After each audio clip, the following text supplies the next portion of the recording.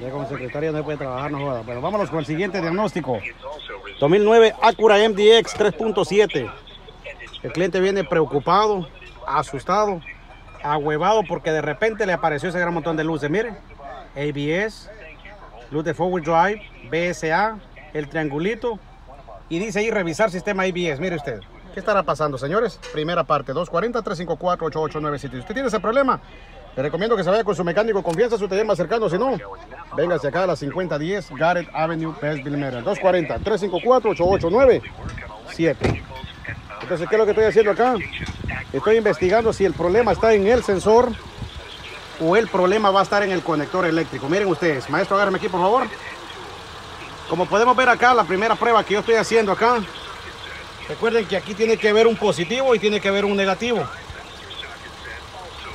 Observen acá. Tenemos positivo, no tenemos negativo, pero positivo no hay, señores. ¿Qué estará pasando acá? 240-354-889-7. Corte ahí.